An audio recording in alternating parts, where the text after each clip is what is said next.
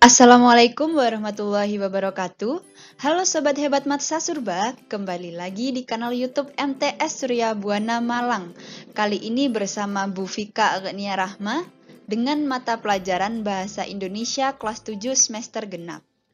Nah, sebelum memulai pelajaran pada hari ini, marilah kita bersama-sama membaca doa. Semoga apa yang kita pelajari hari ini bisa membawa berkah dan manfaat untuk kita semua. Bismillahirrahmanirrahim. Raditu billahi robba wa bil islami dina wa bi Muhammadin nabiyya wa rasula. Rabbi zidni ilma warzuqni fahma waj'alni min ibadika solihin. Amin. Nah, anak-anak, pada hari ini kita akan belajar tentang menyimpulkan isi puisi rakyat. Kompetensi dasar materi ini yakni menyimpulkan isi puisi rakyat, pantun, syair, dan bentuk puisi rakyat setempat yang disajikan dalam bentuk tulis. Dari kompetensi dasar tadi, tujuan pembelajaran kita yakni siswa diharapkan mampu menyimpulkan isi pantun dengan tepat. Siswa diharapkan mampu menyimpulkan isi syair dengan tepat. Siswa diharapkan mampu menyimpulkan isi gurindam dengan tepat. Di dalam puisi rakyat terdapat nilai-nilai moral, pesan, atau nasihat baik dalam pantun, syair, atau gurindam. Seperti dalam surat Al-Baqarah ayat 110 yang berbunyi wa aqimus salata wa atuz zakata wa ma tuqaddimu li anfusikum min khairin tajiduhu indallah indallahi innallaha bima ta'maluna basir Terjemahnya, tegakkanlah sholat dan tunaikanlah zakat, dan segala kebaikan yang kamu kerjakan untuk dirimu, kamu akan mendapatkannya pahala di sisi Allah. Sesungguhnya Allah maha melihat terhadap apa yang kamu kerjakan. Nah, sobat hebat, hari ini kita akan menyimpulkan isi puisi rakyat. Jadi, bagian yang kita simpulkan pada puisi rakyat ada pada bagian isinya. Yang pertama pantun. Isi pantun ini terletak pada baris ketiga dan keempat. Sehingga untuk menyimpulkan isi pantun kita harus memahami baris ketiga dan keempatnya. Yang kedua syair. Nah, isi syair ini terletak pada semua barisnya.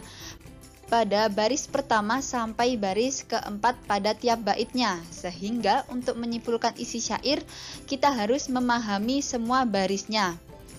Yang ketiga gurindam. Nah, isi gurindam ini pada baris pertama itu berupa permasalahan atau persoalan atau persoalannya.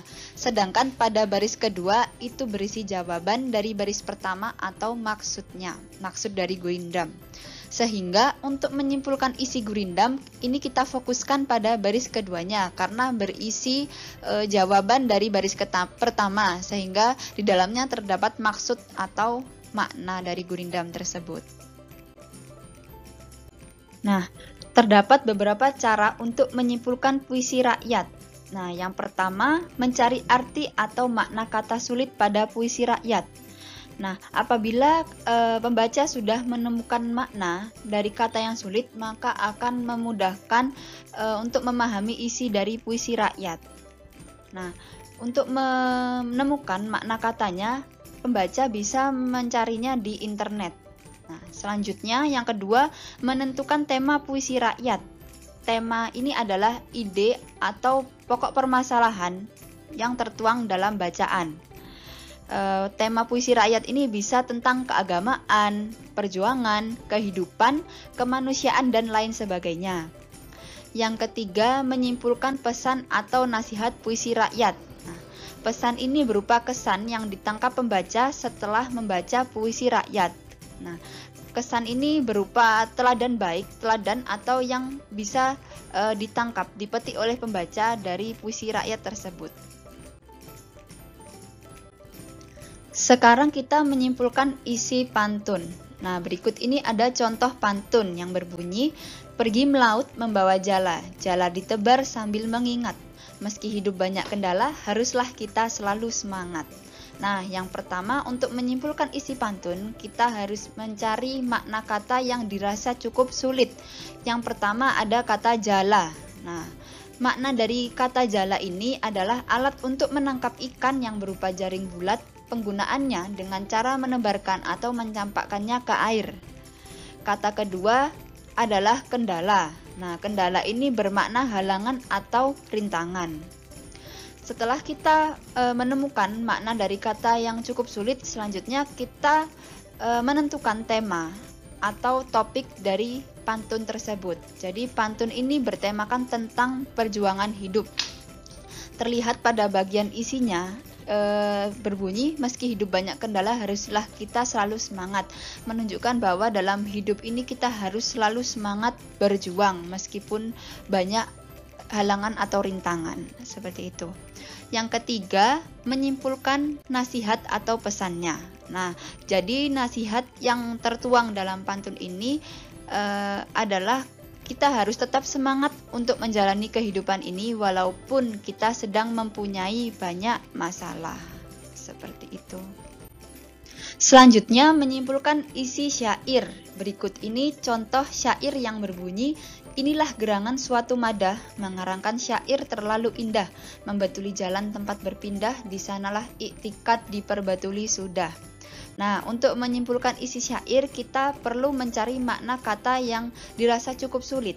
Jadi, kata-kata atau bahasa yang digunakan di syair ini adalah bahasa kiasan. Nah, yang pertama, eh, kata-kata yang cukup sulit adalah madah, yang bermakna kata-kata pujian. Yang kedua, iktikat yang bermakna kepercayaan, keyakinan yang teguh. Kemudian yang ketiga, kata diperbatuli itu bermakna diperbaiki. Nah, setelah menemukan makna katanya, kita menentukan tema dari syair tersebut. Jadi syair tersebut bertema tentang perjalanan hidup. Dan yang ketiga, kita menyimpulkan nasihat atau pesan yang e, tersampaikan dalam syair. Jadi nasihatnya itu bagaimana caranya menjalani kehidupan yang sementara ini itu dengan terus memperbaiki diri ke arah yang lebih baik. Nah, di sini e, sudah ditemukan makna katanya. Yang pertama itu e, inilah gerangan suatu madah mengarangkan syair terlalu indah. Jadi di sini e, menggambarkan tentang kata-kata syair yang indah. Kemudian e, pada baris ketiga dan keempat membatuli jalan tempat berpindah di sanalah iktikat diperbatuli sudah. Nah, e, di sini menggambarkan tentang e, kehidupan ini merupakan suatu hal yang dinamis dan selalu mengalami perubahan sehingga di, perba, di kehidupan ini kita harus selalu memperbaiki diri ke arah yang lebih baik sehingga e, iktikat atau kepercayaan kepada Tuhan. Jadi iktikat ini mengarah kepada kepercayaan kepada Tuhan itu juga e, diperbaiki seperti itu. Kepercayaan atau keyakinan harus semakin diteguhkan. Nah, selanjutnya menyimpulkan isi gurindam. Berikut ini contoh gurindam yang berbunyi, "Jadilah orang iman dan bertakwa agar hidup selamat dan bahagia." Nah, yang pertama untuk menyimpulkan isi gurindam, kita mencari makna katanya terlebih dahulu. Jadi ada dua ini, ada iman yang pertama. Iman ini bermakna keyakinan dan kepercayaan kepada Allah, Nabi, kitab dan sebagainya, berkaitan dengan agama. Hal-hal yang berkaitan dengan agama.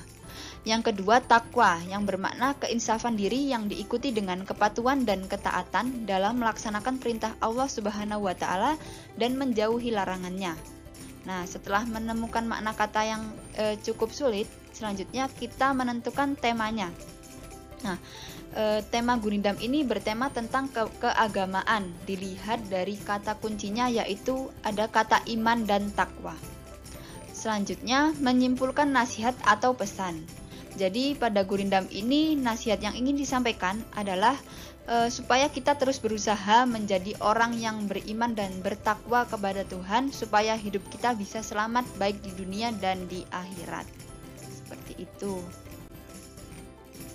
Nah, sekarang ini ada latihan menyimpulkan isi puisi rakyat.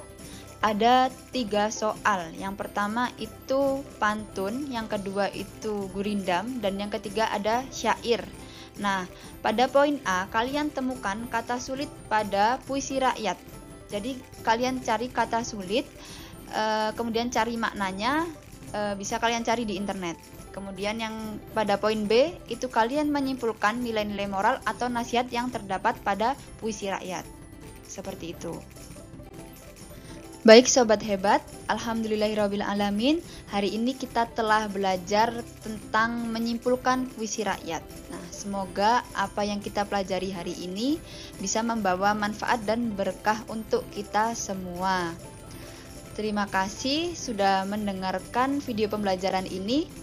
Wassalamualaikum warahmatullahi wabarakatuh.